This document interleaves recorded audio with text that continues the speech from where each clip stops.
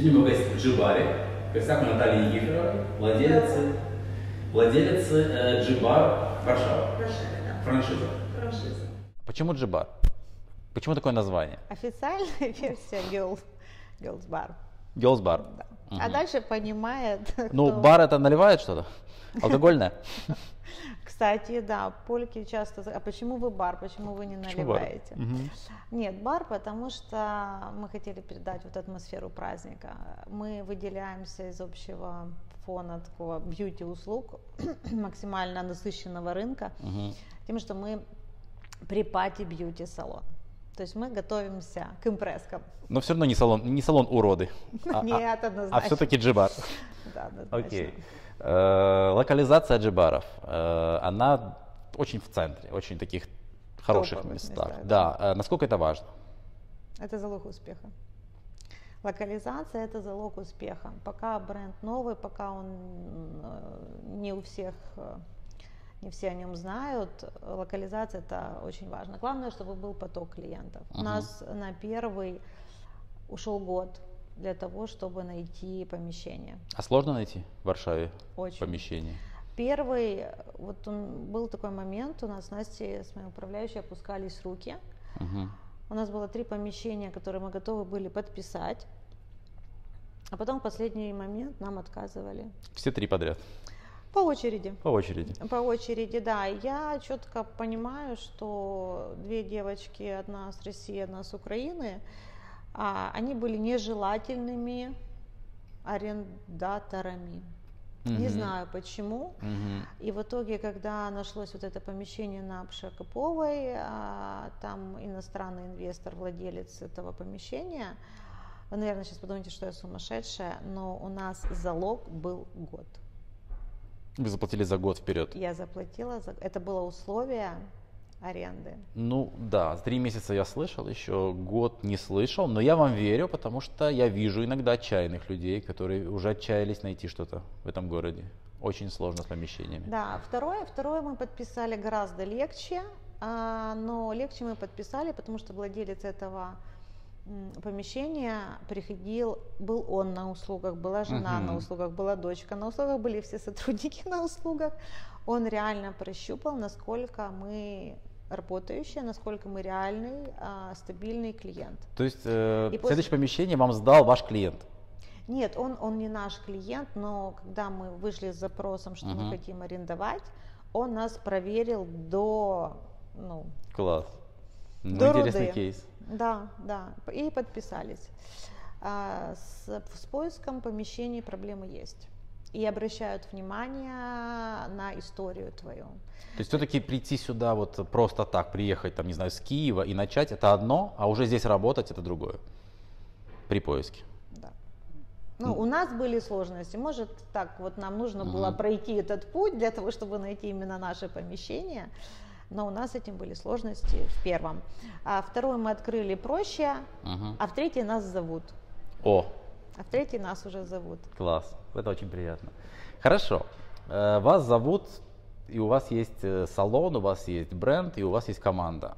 Ваша команда, ваши сотрудники, что это за люди? Кто они такие? Ой, меня, мне очень повезло, не знаю, как-то так сложилось. Успех, вот Джибара – это успех моей команды. Кто эти люди? Где вы их находите?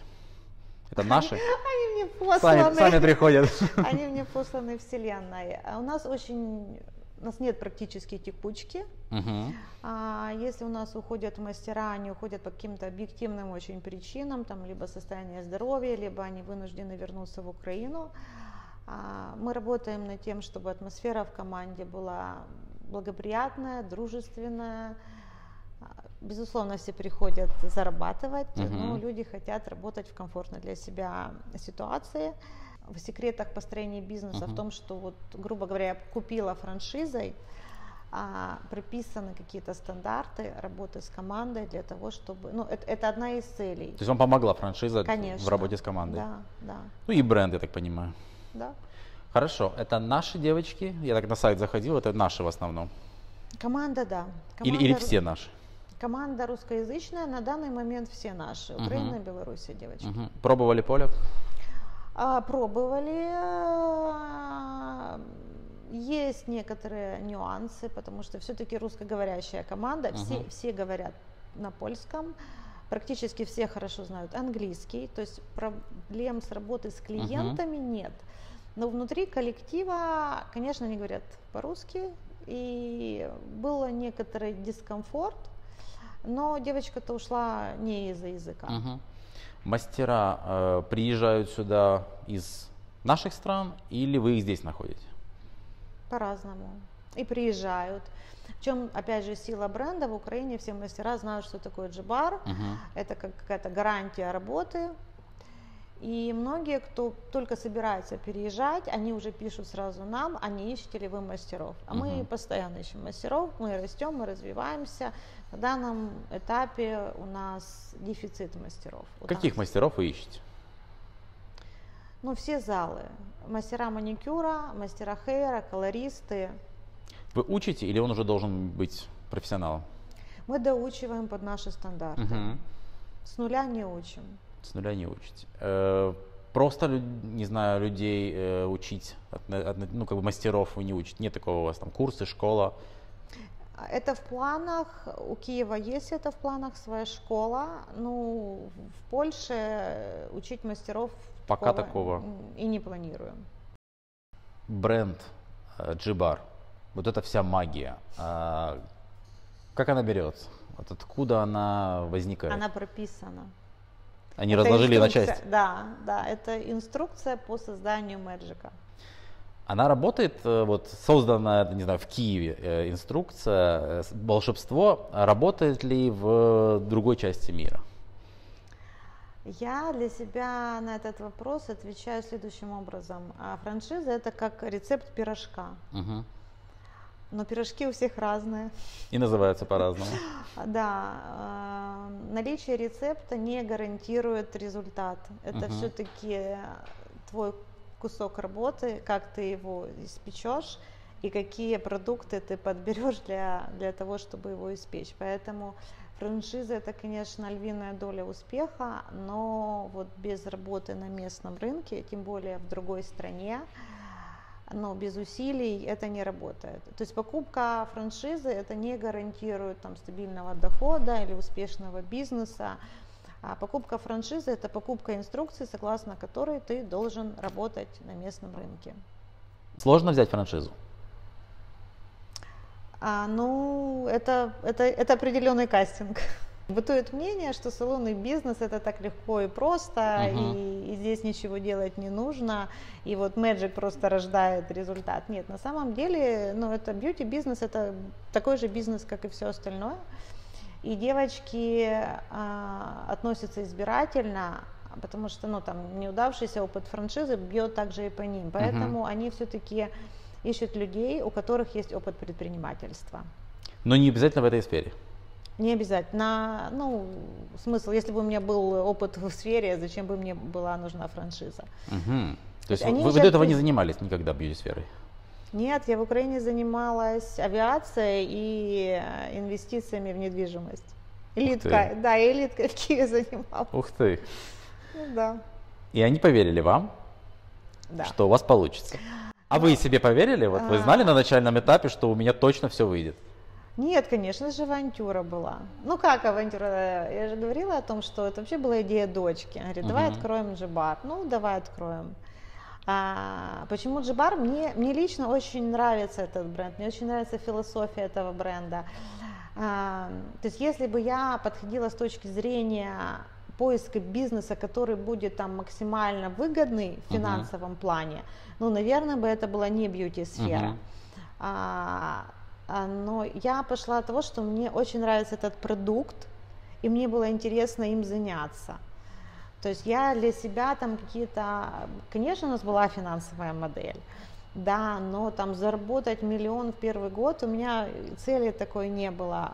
Цель была взять вот, вот ту красоту, этот мэджик, и вот вырастить его на этом Польше, поле. Да, В Варшаве. Да, в Варшаве. Ну вот вопрос, э, вот та модель, э, на которая, не знаю, стоит в том числе на блогерах, на брендах, на каких-то людях значимых, на Брежневой, на Дорофеевой, Она может ли прижиться? Как, как понять, что она приживется в Варшаве? А, история с той же Брежневой, Мгм. а, как она стала, грубо говоря, амбассадором. Да. Она клиент. Она клиент, который сам пришел в Джибар. Ее не пригласили как блогера по, по бартеру обс- обслужиться.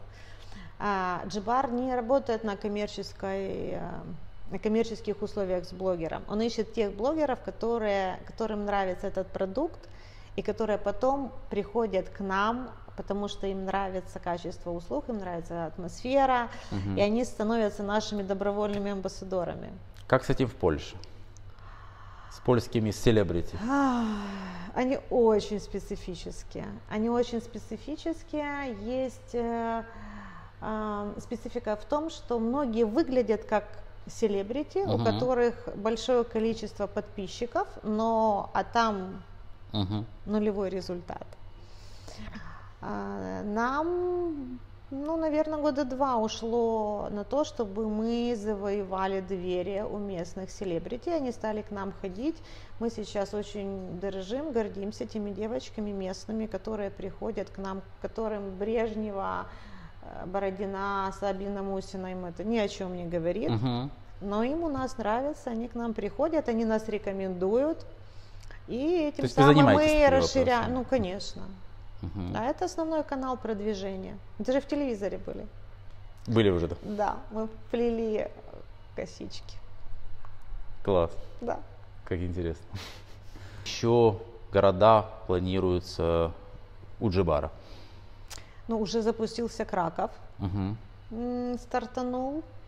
А, Очень такие активные переговоры по э, Гданьску и Лодзю. Ну, насколько я знаю, не подписаны. А, ну, Это не хот- вы, Нет. это другие, как бы. Нет, это другие. Были, были мысли идти в другие города, а, но дистанционно это не работает. Это нужно такого погружения в это. Я поняла, что я не хочу. Лично я не хочу идти в другие города, потому что если что-то делать, то нужно делать хорошо. А Мы помогаем с открытием, то есть моя команда помогает с открытием, вот помогали с Краковом. а, Если кто-то задумывается о франшизе, а, я всегда открыта, я всегда рассказываю, готова показать, как это работает. Вы не конкурируете с Краковом? Нет, конечно. Ну как, как? Но мы наоборот, мы взращиваем этот То бренд. Для вас это плюс, Конечно. другие города? Конечно. Мгм. Это узнаваемость бренда. Вот за период работы э, какие услуги менялись? Вот какие-то услуги, может, добавлялись еще? Ой, мы открывались, мы не стригли, мы не красили. В первом перечне услуг были только мейки и укладки. Мы добавили стрижки, мы добавили колоризацию, появилось ламинирование ресниц, ламинирование бровей. Классные услуги, которые делают хорошие выручки по залу мейка. Мгм. А в новом, в третьем, мы планируем фейсбар. Это массаж лица. Ну, это такая пока маленький Что-то инсайт. новое. Да. Класс. да, это новая услуга. Ну, кто, кто стоит на месте, тот откатывается назад. Поэтому нужно идти вперед и что-то добавлять все время. По косметике. Э, Где вы берете косметику? Что за марки? Э, Помогает ли с этим франшиза? Первую закупку я вообще все привезла с Украины. Мгм. Это была такая моя ошибка, потому что я считала, что если я дешевле куплю в Украине, это лучше. А потом, а, когда оказалось, что есть такое понятие ват, все поняли, что с Украины возить не стоит. Работаем с местными представительствами. А, Очень специфический рынок. А, Мало чем помогла материнская компания, потому что местные не совсем лояльные. А, Сложно, сложно с ними работать. Есть у них какие-то такие определенные требования, может быть, не совсем логичные. Они не очень щедрые. Да, то есть обычно, если ставишь на полку какой-то товар, дается какой-то набор презентационный для того, чтобы мы могли рекламировать. С этим вообще в Польше очень плохо, они скупы. Да. А, ну, есть, безусловно, лидеры продаж. Давинос у нас очень хорошо продается. Вот сейчас новые бренды пытаемся заводить. Столкнулись с тем, что вот вроде как этот Давинс, он есть везде, его можно везде Мгм. купить. И вроде как это не очень интересно. А с другой стороны, местные покупают то, что они знают. Да. Пропихивать нов- Консервативная страна. Да, такая.